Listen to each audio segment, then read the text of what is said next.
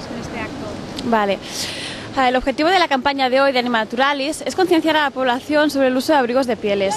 Creemos que no es necesario usar pieles, ya que hoy en día hay muchas alternativas y no necesitamos matar animales para vestir. ¿Cómo viven estos animales?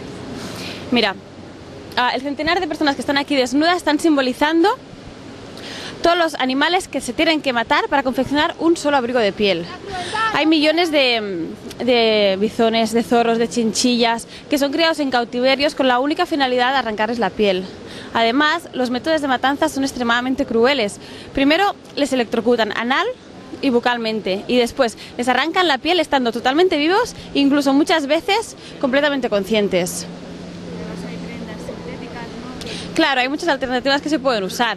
Y hoy en día antes sí que se usaban, porque antes el usar pieles era un símbolo de lujo, porque solo una parte de la sociedad podía acceder a ellas. Pero hoy en día, donde lo que sí que está al al alcance de toda la sociedad es la información, el usar pieles debe estar considerado un acto de vanidad, de frivolidad y sobre todo de ignorancia. ¿Por qué crees que la gente uti- sigue utilizando pieles? Yo creo que por ignorancia.